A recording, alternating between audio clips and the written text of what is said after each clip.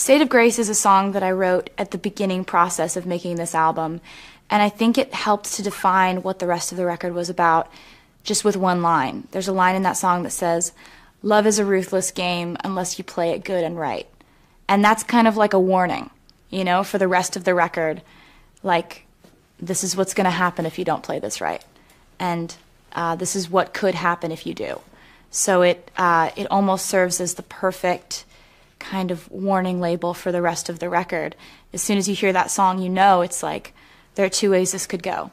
You could you could be good to people, or you could, you know, not play fair. And both the outcomes are reflected on the record. Red is a song that I wrote halfway through making this album, and it changed what this album became because this song is about correlating different emotions to different colors. And uh, it hit me all of a sudden that most of the emotions I'd felt in this process of making this album were were red emotions, all the intense ones at, at the happy and the angry, you know, end of the spectrum. And it really changed my outlook on where this record was going because to me this song is very different, very descriptive, uh, and it and it has an edge to it that to me kind of expanded what I wanted to do. Treacherous is a song that I wrote with Dan Wilson, and I brought in this idea because I wanted to I wanted to explore the idea that something could be dangerous and enticing at the same time. Um, you know, but the positive side of that, like I, but I believe this can work. You know, it's um, it's got this big bridge at the end of it that kind of sounds like a second chorus. It's got all these these vocals in the background, and it says, "Nothing safe is worth the drive," and to me that that says so much about this album because I really do feel that even if something really hurt you, if it made you feel something, it was worth it. I Knew You Were Trouble was an idea that I got almost six months before I was scheduled to write with Max Martin, and I emailed him and said, I just got this idea. I can't wait to bring it to you. I know that we're not writing for a few months, but I just, I need you to know I thought of this thing. I can't wait for you to hear it. And I have never written a song like that where it's like, it's not shame on you, you broke my heart. It's shame on me, you broke my heart. I saw the red flags from the first second. God, you feel so stupid. Um, but it, it's got that chaotic sound in it. It's got that really bold edge to it where the song sounds like that feeling felt. The song All Too Well is a song that I wrote. It's the first song I wrote for this record, actually. Um, and it kept coming back to me because it told a story so well in such a full way. Um, it starts with meeting someone and all the details about that innocent beginning, and it follows the story all the way to the bitter end. And it's um it's a really emotional song because it does show you why why loss is so painful because it was once good and you can remember it. The song 22 is, um, is kind of an idea I got while I was on a plane. Um, and I, ran into the studio with, with Max Martin and Johan Shellback, and I was like, "You guys, listen to this!" And um, and they loved it too, so we worked on it. And I wanted to write a song about what my summer had been like with my friends, with that kind of attitude of like, we are in our 20s and we don't know anything and it's awesome you know and it's it's it's kind of fun to embrace that. Um, and I, I gotta say that's probably one of the biggest choruses on the record. The song i almost do is a song i wrote about the conflict that you feel when you want to take someone back and you want to give it another try but you know you can't. And you can't because it's hurt you so so deeply that you know you couldn't bear to go through that again. And so you're sitting there and you're wondering where they are and you hope they think about you and you're almost picking up the phone to call them. But you just, but you can't. Um, so it's, it's an emotion that I think I needed to write the song in order to not call that person, actually. I think that writing the song was what I did instead of picking up the phone. We Are Never Ever Getting Back Together was a song that I wrote with Max Martin and Johan Shellback, and it happened really spontaneously while we were writing. This guy walked into the studio and he was friends with my ex, and he made some comment about how we were probably going to get back together. He left. I went on a rant that sounded something like, and you know, the thing is, we are never ever getting back together. Like, ever. I'm never going through that again. That was like ever. We are never getting back together. And, and, and Max looked at me and said, we have to write that. And we did. And as soon as I played it for anyone in my life that I trusted, they they just kept singing it over and over again and got it stuck in their heads. And um, and I'm really happy when I look out into a crowd of thousands of people singing the words back to me, knowing that it came from such a spontaneous and, and fun thing. The song Stay, Stay, Stay is a song that I wrote based on what I've seen of real relationships where it's not perfect. There are moments where you're just so sick of that person and you get into a stupid fight and um, you know it's still worth it to stay in it you know because there's something about it that you can't live without and it says um, you know in, in the bridge it says i'd like to hang out with you for my whole life and i think that's probably the key to finding the one is if you just want to hang out with them forever the Last Time is a song that I wrote with Gary Lightbody of Snow Patrol. Um, I had always wanted to work with Snow Patrol. They're my favorite band. And um, this was a song that I wrote about something I had been going through where you've got, I picture like a door, you know, and you've got on the outside of the door, standing outside in the cold, is this guy who's left his girlfriend over and over again and come back and asked for a second chance over and over and over again. And on the other side of the door, you have this, this girl standing there with tears in her eyes, wondering how she could possibly turn him away when she loves him this much, but she can't get hurt again. And it's both of these people swearing that this will be the last time. She's swearing it's the last time she's going to take him back. He swears it's the last time he's going to leave her and hurt her. Um, so it's a it's a really intense song, and I I'm so proud to have Gary on the record.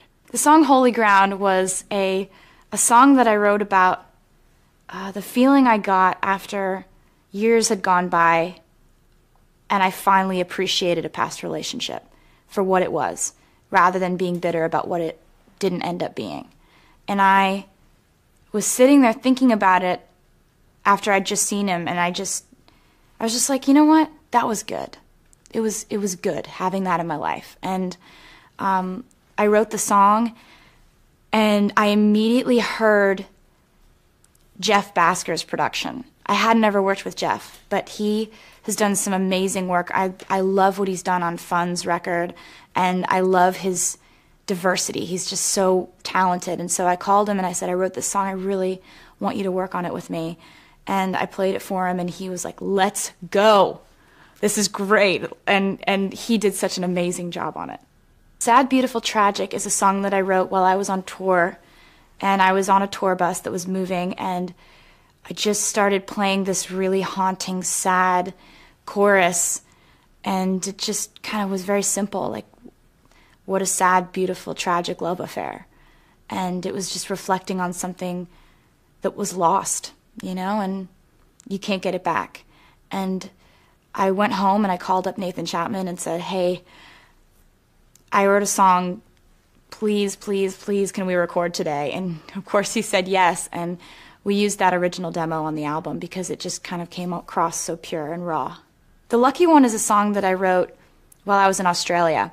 And um, it kind of it kind of talks about some of my fears um, through telling the story of other people that I I was inspired by. Um, but you know, more than their stories being told, I I, I'm pretty much singing about what I'm scared of in that song, ending up kind of caught up in this whole thing and, and lonely and feeling misunderstood and feeling like when people think you're lucky that you're you're really not.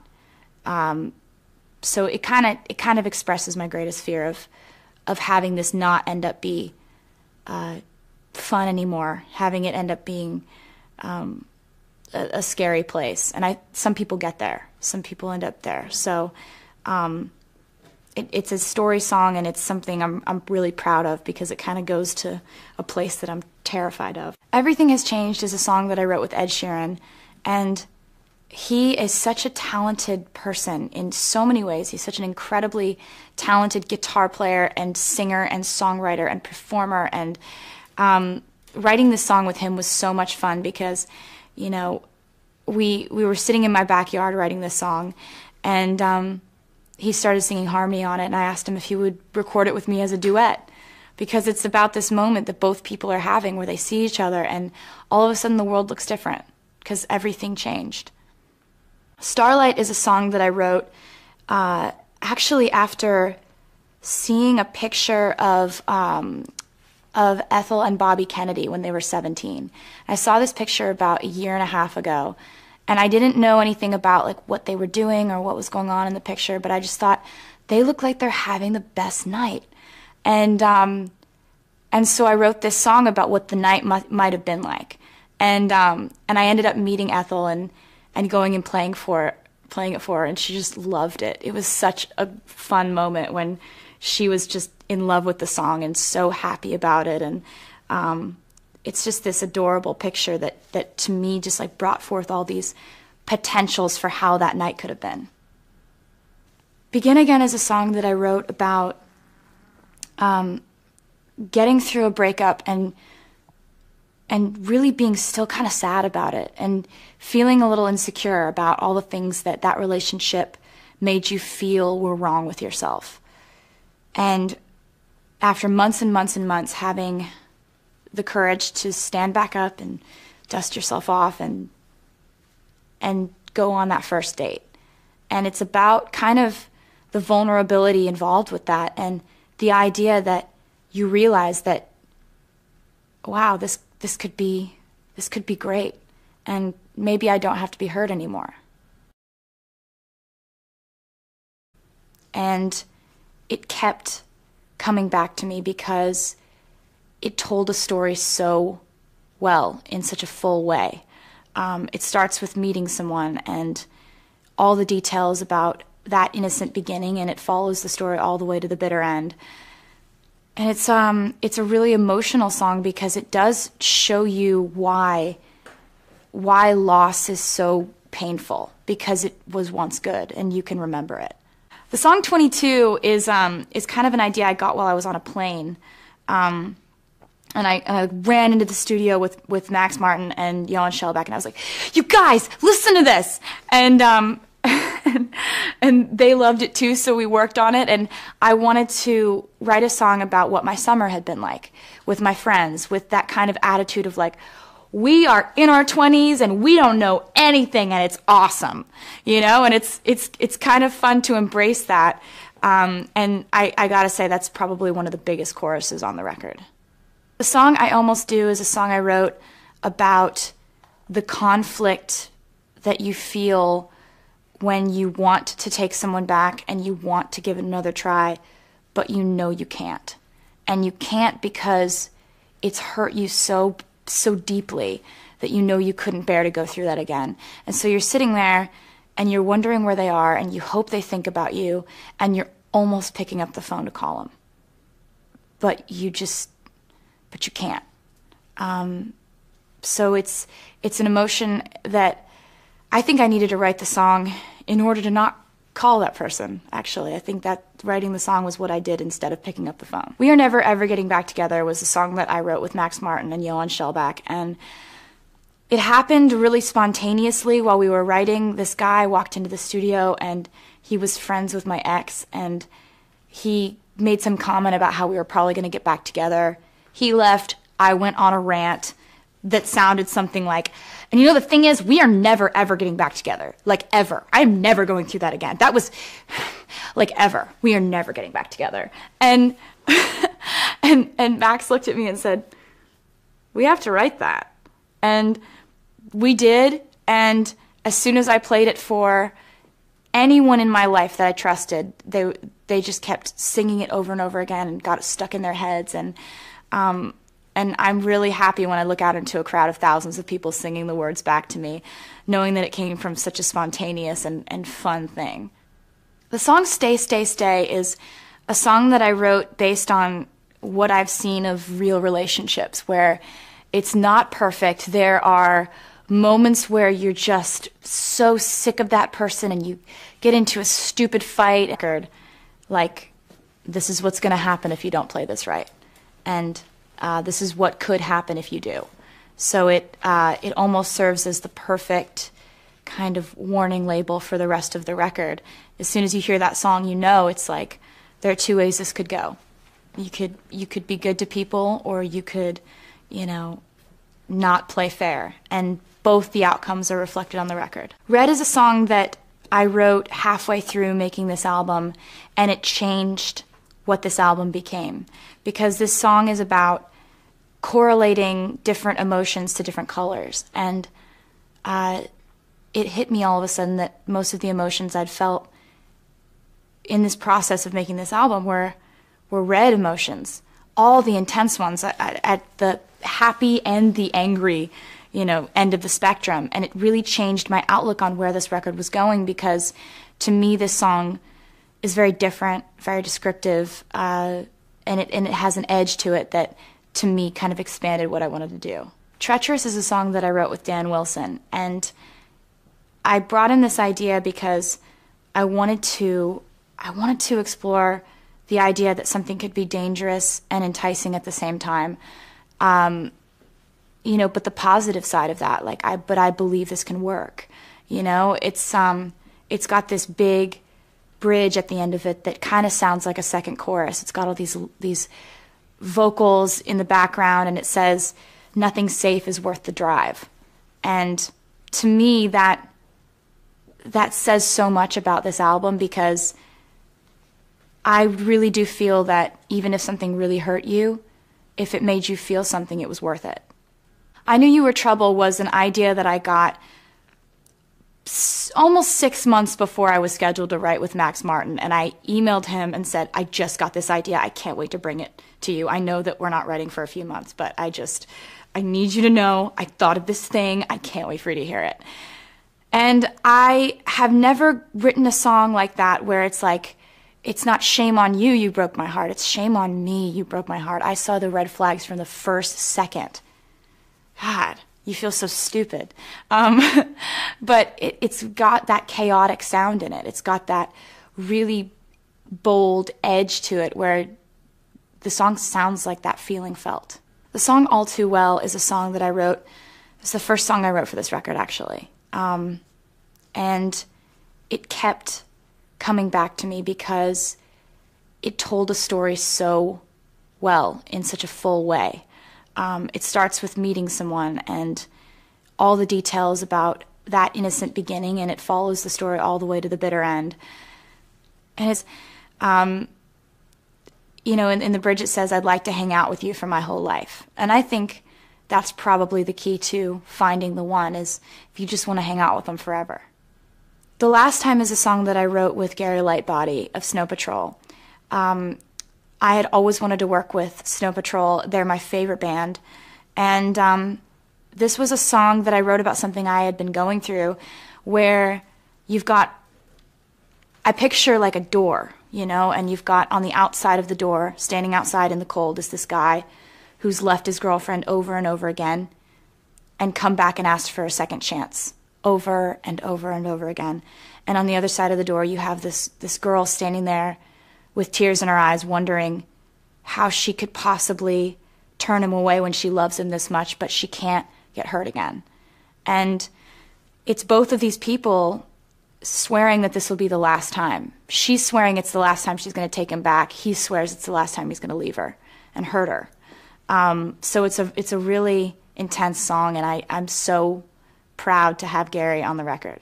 The song Holy Ground was a, a song that I wrote about uh, the feeling I got after years had gone by and I finally appreciated a past relationship for what it was rather than being bitter about what it didn't end up being. And I was sitting there thinking about it after I'd just seen him and I just I was just like, you know what? That was good. It was it was good having that in my life. And um, I wrote the song, and I immediately heard Jeff Bhasker's production. I had never worked with Jeff, but he has done some amazing work. I, I love what he's done on Fun's record, and I love his diversity. He's just so talented. And so I called him and I said, I wrote this song. I really want you to work on it with me. And I played it for him, and he was like, Let's go. This is great. And, and he did such an amazing job on it. Sad, Beautiful, Tragic is a song that I wrote while I was on tour.